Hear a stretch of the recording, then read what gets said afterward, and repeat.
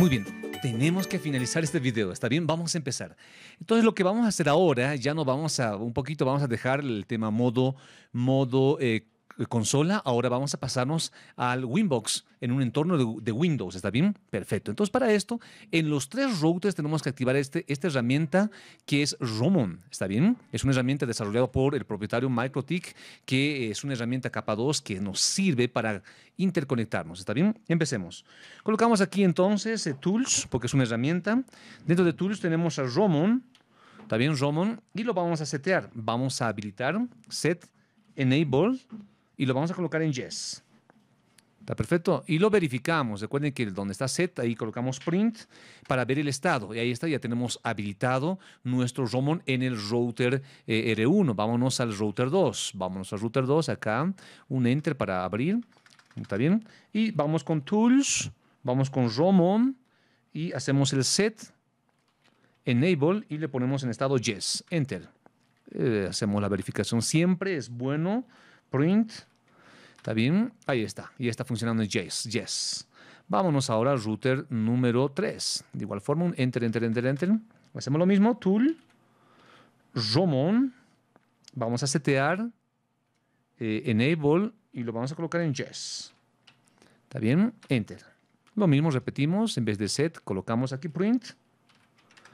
Ahí estamos. Ya estamos todos funcionando. Entonces ahora, recordamos nuestro esquema que nuestro computador, nuestro Windows anfitrión, en este, en este caso es el Windows 10 anfitrión, está conectado al, estamos enlazados al BIMNet 0. Y recuerden que el BIMNet 0 es la tarjeta de red inalámbrica que se, perdón, la tarjeta de red inalámbrica o la tarjeta Ethernet que usted tenga. ¿Está bien? Y esa se convierte en un switch. También se convierte en un switch virtual, obviamente, donde nosotros podemos, a través de nuestro computador anfitrión, podemos ingresar al router. Bien sencillo, agarramos un, eh, vamos a abrir un Winbox, abrimos un Winbox y lo único que vamos a hacer acá es irnos a Netboard, hacemos un refresh y ahí observamos que encontramos MikroTik, que es, eh, que es el router que estamos viendo. Porque eh, recordarles que no le hemos puesto en Identity un nombre, vean, está todo con MikroTik. Acá también el Identity está MikroTik. MikroTik, no hemos cambiado el nombre porque queríamos hacerlo en el entorno Windows. Entonces acá, vean por favor acá, Podemos ingresar por la dirección MAC, porque estamos eh, en modelos y capa 2, podemos entrar por, por MAC. No tiene contraseña. ¿Está bien? Está perfecto. Entonces, este es el MicroTik, este en la, es el tipo de board.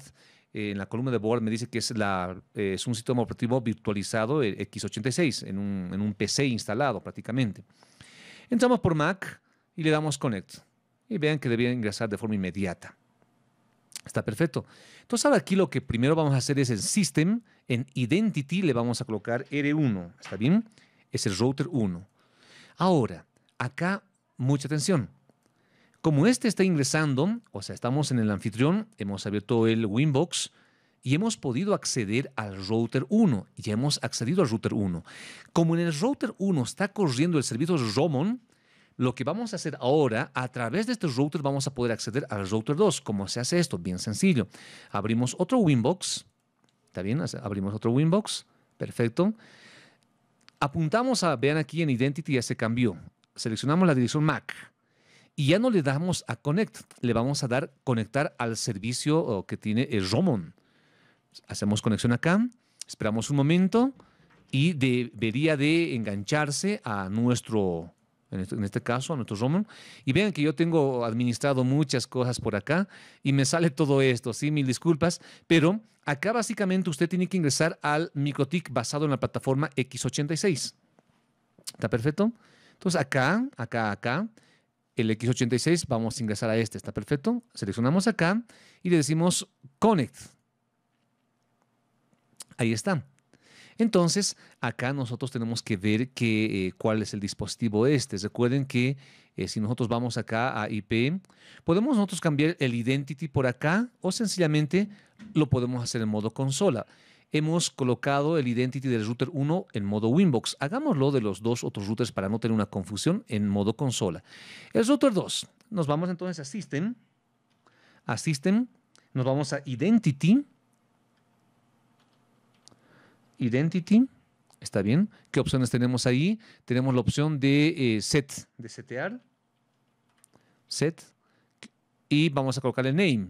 Le vamos a colocar el nombre en mayúscula, R, R2 corresponde esto a R2. Enter.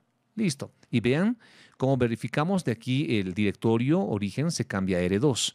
Vámonos al router 3. De igual forma nos vamos acá a System, System, Identity. Luego nos vamos a Set. Y recuerden que otro, otro tab y nos se llena con NAM, el único comando que tiene. Y le ponemos acá es el R3. En mayúscula R3. Enter y también ya hizo el cambio porque no estamos acá. Entonces ahora nuevamente abrimos otro Winbox, ¿está bien? Otro Winbox. Y de igual forma, ya tenemos aquí la dirección, vamos a Network, aquí está nuestro router 1 que lo hemos llamado Winbox, aquí seleccionamos la, en la columna de Mac para que se cargue la dirección Mac acá, y ya no le decimos conecta, le decimos a Connect to Zomon, y se conecta y empieza a, se puede decir, eh, a enlazarse también a todos los dispositivos que yo tengo conectado por ahí, eh, esto, esto lo voy a... Entonces, aquí tenemos lo que nos interesa. R1 y R2. ¿Está bien? Esto un poco voy a... para que no tenga algún problema. ¿Está bien? Tenemos el R1 y el R2 de, del board de, en este caso, una plataforma x86 que está instalado en un computador. Está perfecto. Y ahí están. Este es el R1, el R2 y el R2. Seleccionamos y le decimos Connect. ¿Está bien? Entonces ya tengo aquí el R1 lo podemos llevar a un costadito, bonito, acomodado, muy ordenado. También esto. Este es el R1, R2. ¿Está bien? Y vamos a abrir también el R3, igual por Romon. Otra vez ingresamos, eh, recuerden que Network, buscamos el R1 por Mac, hacemos un Connect to Romon. Y ahora lo que vamos a hacer básicamente es conectarnos nuevamente, nos vamos a R, R3, ahí está, mi R3. Selecciona la, la columna de Mac, vean, esta Mac tenemos que seleccionar es de x86, es el R3 que lo hemos cambiado en modo consola. Y hacemos connect. Perfecto, ahí está. Tenemos el router 1, el router 2 y el router 3 en modo Winbox, o sea, en un entorno eh, que estamos familiarizados por el tema de las ventanas. Muy bien. Entonces, siguiente paso. Ahora volvemos a nuestro esquema. Hemos ingresado por Romon y todo este detalle. Vámonos ahora, vámonos, vámonos a nuestro esquema. Aquí estamos con nuestro diagramador. Nos dice que cada LAN tenga un DHCP server. Bien, vean que cada LAN tenga un DHCP server. Pero para que esto tenga efecto y tenga un buen funcionamiento, nosotros necesitamos, necesitamos que nuestro router R2, por ejemplo, que podamos natear esta, esta red. Está bien, uno, hay que natear esta red, así como lo hemos hecho acá. ¿Qué más tenemos que hacer? Crear la ruta por defecto. Está bien, Ah, no, la ruta por defecto ya lo hemos creado, por eso que tiene internet. Solamente natear para que esta, todo lo que está aquí abajo pueda acceder a través de este router hacia la nube. Eso es uno. También vamos a empezar a natear y luego estaremos también colocándole el DNS, el servidor DNS.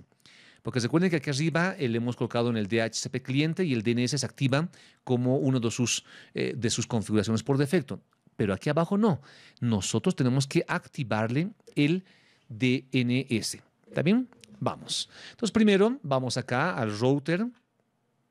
Vamos a hacerlo esto. Lo podemos hacer en modo Winbox también, ya estamos ahí. Vamos acá. El router 1 no tiene que ser mucho, el router 2. Vamos primero por el tema del DNS. Vámonos a IP, vámonos a DNS. Acá le vamos a agregar el servidor. En este caso, eh, yo estoy con el servicio de Intel, le voy a colocar 200, 105, 128.40. ¿Está bien? Pero uno más estándar sería el 8.8.8, que es de Google. Póngale usted 888, ¿está bien? Y básicamente eso. 200, 105, 128, 40. Aplicamos y ok. Aquí también en el router, para que vayamos en orden, nos vamos a IP, nos vamos a DNS. Está perfecto. Acá le colocamos igual. 287.40. 200, 200. A ver, para 200, 105, me estoy confundiendo acá. 200.105.128.40. Y aquí abajo vamos a colocarle el 8.8.8, es el que no falla, está siempre activo este DNS de Google. Aplicamos y OK. Probamos, vamos a una terminal nueva y aquí decimos ping a www.google.com. Si todo va bien, ya deberíamos de tener a la salida, en este caso también, vamos a, New Terminal, ya tendríamos la navegación. Ping ¿Está bien? Google.com. Ahí está. En, en ambos routers ahora tienen la salida de redes y también tienen la navegación. ¿Está perfecto? Muy bien, vamos ahora en ambos routers. Recuerden que estamos haciendo lo que está en el esquema. Tenemos que natear en el router 2, natear esta red en el router dos redes que tenemos que natear. ¿Está bien? También en el router 3 una red. Y acá arriba, recuerden que hemos nateado solamente estas redes. Hay que natear en el router 1 estas dos redes también que son LANs. ¿Está bien?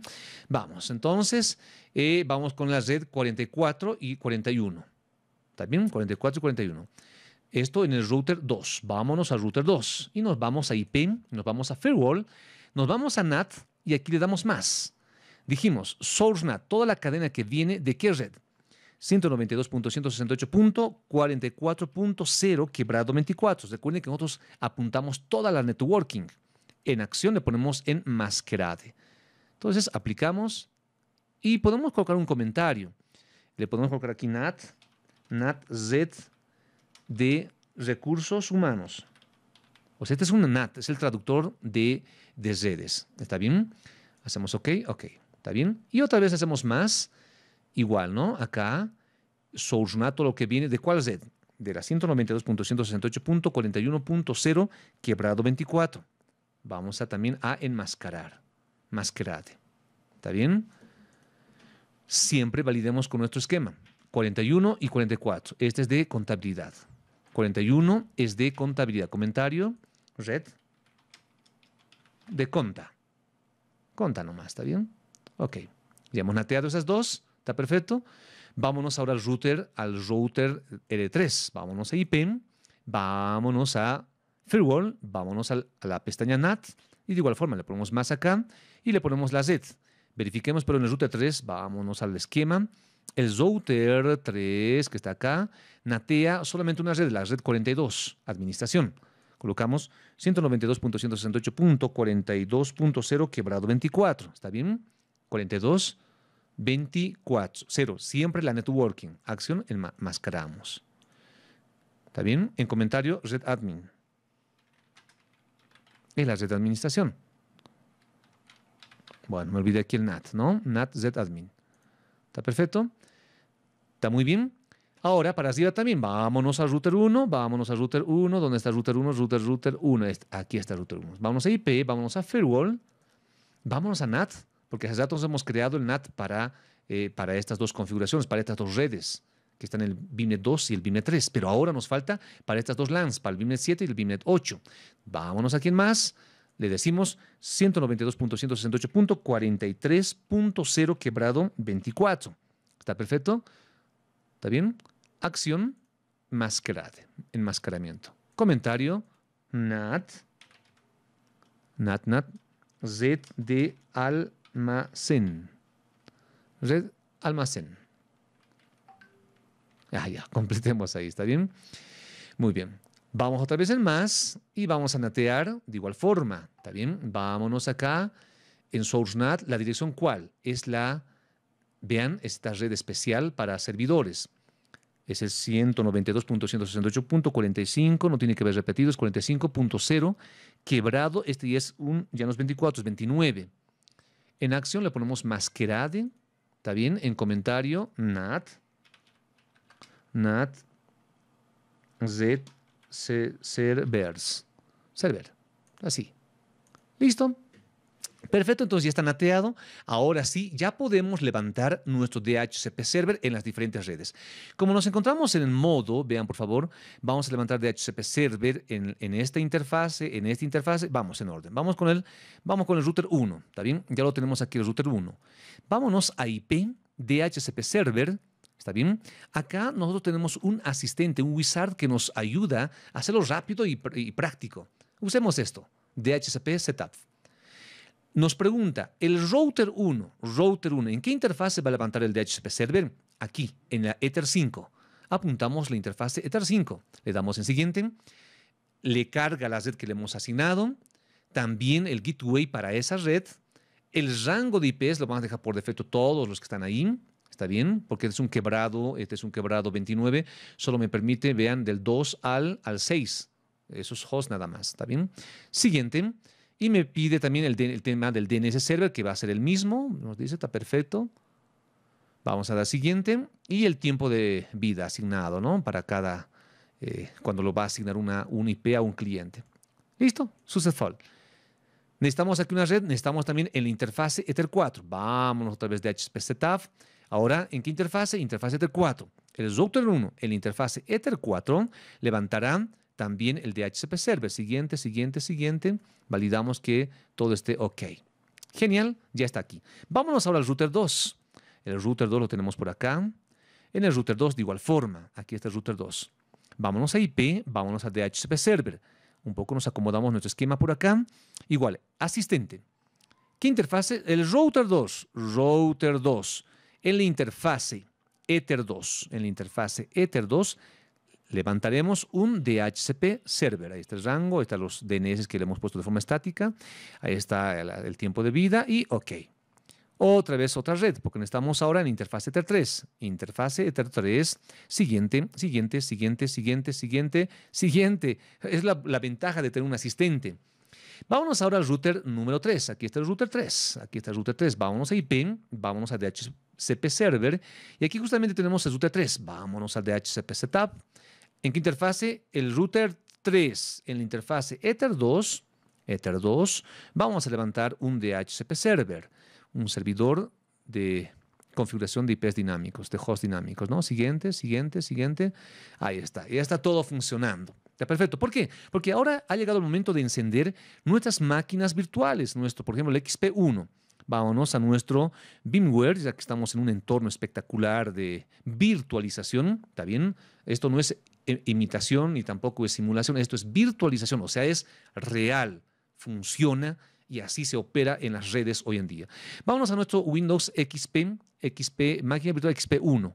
A ver, a ver, aquí está. Ya le vamos a colocar este nombre eh, para ubicarnos, ¿no? Este es, este es el XP profesional. Aquí un mini. Si gustan este, podemos aquí rename, eh, rename, colocarle acá eh, XP, aquí arribita, ¿no? Le vamos a colocar XP1. Todo lo demás que queda así, no hay problema. Luego vamos a tener el XP2. Vámonos para aquí abajo. Aquí está otro XP. Este. Rename y le vamos a colocar acá XP2. ¿Está bien?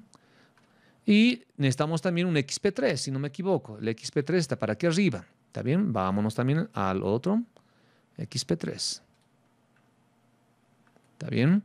Vámonos, vamos, vamos al tiempo nuevamente. Se nos va volando. A ver, a ver dónde estamos. Eh, que no cunde el pánico, como dice. A ver, vamos ahí. Vamos, vamos, vamos acá. Estábamos acá, el, este sería este XP, clic derecho, cuidado que le pongan en remover. No, no, no. XP, este es el XP3. Perfecto. ¿Qué más necesitamos? Necesitamos también el Kali, Kali, y también para arriba necesitamos los servidores. Vamos con estos primero, vamos con estos, solamente con los XP, para que no le demos mucha carga. Encendemos XP1 antes de encender necesitamos el XP1, se tiene que ir al BIMNet, conectar, o sea, tenemos que enlazar al BIMNet 4. XP1, vámonos acá al BIMNet 0, no, no, no, tenemos que llevarlo a dónde?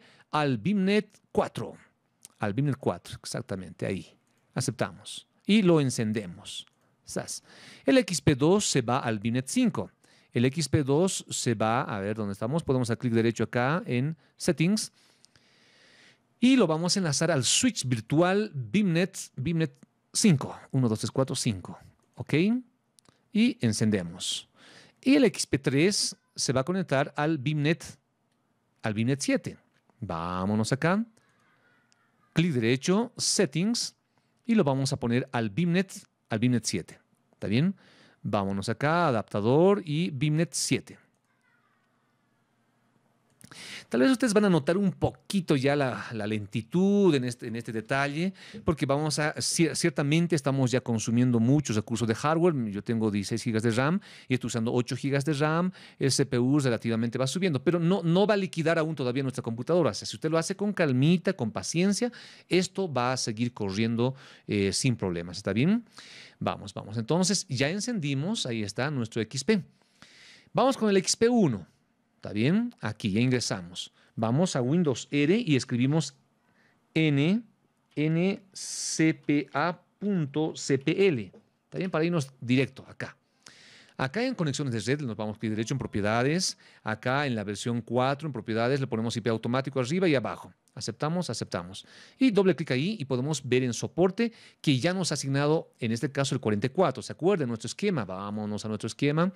Estamos, estamos en el XP1. El XP1 está en la red 44. Está acá, ¿eh? No se pierdan. La red 44 y ya el DHCP server le ha asignado. Si nosotros hacemos Windows Setting, hacemos un CMD y hacemos un ping al 8.8.8 para ver que ya tengamos internet, vean que ya se tiene internet.